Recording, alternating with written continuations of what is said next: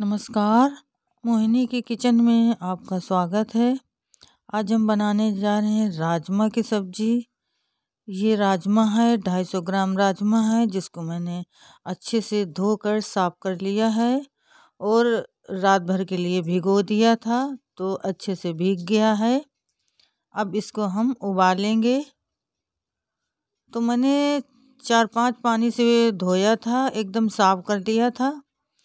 क्योंकि जब हम उबालेंगे तो इसी का पानी डालेंगे, दूसरा पानी नहीं डालेंगे। तो चलिए अब हम उबाल लेते हैं कुकर में। तो ये मैंने उबाल लिया है, देखिए, अच्छे से उबल गया है। और उबलने में मैंने पंद्रह मिनट तक उबाला है और अच्छे से उबल गया है। तो इसको अब हम एक भगोने में पलट लिया है। ये देखिए पानी सहित पलटा है क्योंकि पानी मेरा साफ़ है। इसी पानी को हम डालेंगे, दूसरा पानी नहीं डालेंगे। तो ये एकदम से उबल गया है। अब हम ये देखिए, तीन प्याज हैं। और एक टुकड़ा अदरक का है, ये देखिए। और चार पाँच कलियाँ लहसुन की हैं, जो लहसुन की कलियाँ बड़ी हैं। तीन हरी मिर्च हैं और एक टमाटर है। ये हम मसाले में डालेंगे और ये धनिया पत्ती है। तो इनको हम पीस लेंगे, प्याज, लहसुन, अदरक और टमाटर सभी को हम पीस लेंगे। मिक्सी में पीस लेंगे। और जिस भगोन कुकर में मैंने उबाला था, उसी में हम बनाएँगे राजमा को। बहुत लोग कढ़ाई में बनाते हैं, मगर हम कुकर में बनाएँगे। तो कुकर गर्म होने के लिए रख दिया है। अब इसमें हम डालेंगे तेल। तो तेल थोड़ा सा ज़्यादा ही डालेंगे सब्ज़ी से। तो तेल मैंने डाल दिया है। तेल गरम हो रहा है। तेल गरम हो गया। अब इसमें हम एक चम्मच जीरा डालेंगे। तो जीरा चटक गया है। अब इसमें हम वही लहसुन, प्याज, अदरक सब एक साथ पीस लिया था तो हम इसको डाल देंगे।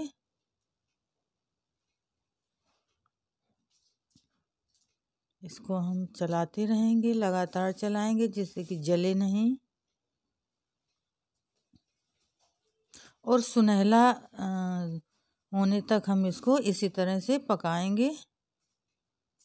मीडियम आँच में पकाएँगे, ज़्यादा तेज़ नहीं करेंगे और एकदम धीमा भी नहीं रखेंगे गैस को। तो इस तरह का पक गया है सुनहला हो गया है। अब इसमें हम डालेंगे कुछ मसाले। ये देखिए पक गया है। तो मसालों में हम डालेंगे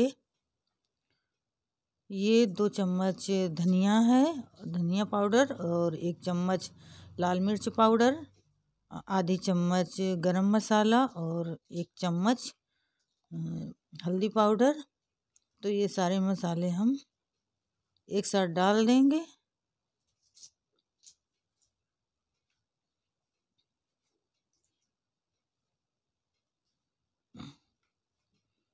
मसाले चला देंगे। तो मसालों को हम थोड़ी देर चलाएँगे। क्योंकि मैंने पानी नहीं डाला है तो मसाले जले ना। इसलिए हम थोड़ी देर चलाएँगे और इसके बाद टमाटर डाल देंगे। ये पिसा हुआ टमाटर है और हरी मिर्च एक साथ मैंने पीसा था। तो डाल देंगे इसको भी और चला देंगे और मसाला अच्छे से धीमी आँच पर पकाएँगे। मसाला अच्छा धीमी आँच पर पकता है, तभी सब्ज़ी स्वादिष्ट बनती है, इसलिए हम धीमी धीमी आँच पर पकाएँगे।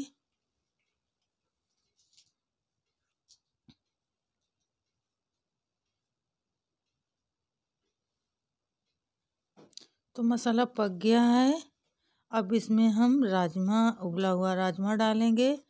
तो राजमा के साथ हम वही पानी डालेंगे जो उबाला था पानी।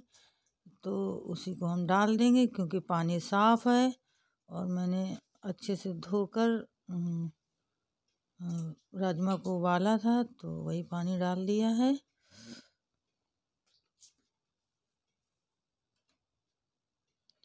और पानी इतना हम डालेंगे कि जितना मुझे पानी पसंद हो तो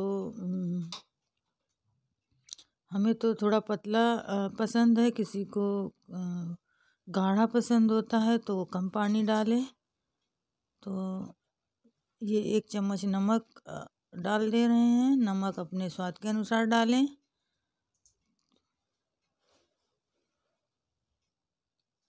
अब हम इसमें दो सीटी लगाएँगे और ये राजमा गाढ़ा हो जाएगा, सारे मसाले पक जाएँगे और सब्ज़ी बढ़िया बन जाएगी। गैस को हम तेज कर देंगे। तो देखिए, इस तरह का राजमा बनकर तैयार हो गया है। एकदम अच्छा सा बन गया है। थोड़ा सा पतला है, जो हम लोगों को पतला रसा पसंद है। तो इसलिए मैंने थोड़ा पतला रखा है। आपको जैसा पसंद हो वैसा पानी डालें। तो ये राजमा बनकर तैयार है। अच्छी खुशबू आ रही है। इसमें हमने धनिया पत्ती डाल दिया है। अब हम सर्व कर, करते हैं।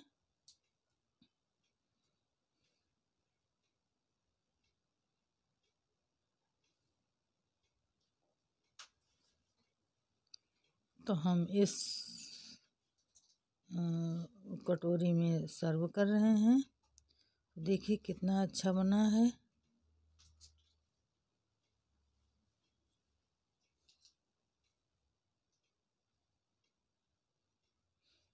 ये देखिए कितना अच्छा बना है। अगर इस तरह से बना हुआ राजमा आप लोगों को पसंद आए तो प्लीज़ मेरे चैनल को लाइक करें, शेयर करें, कमेंट करें और सब्सक्राइब करें।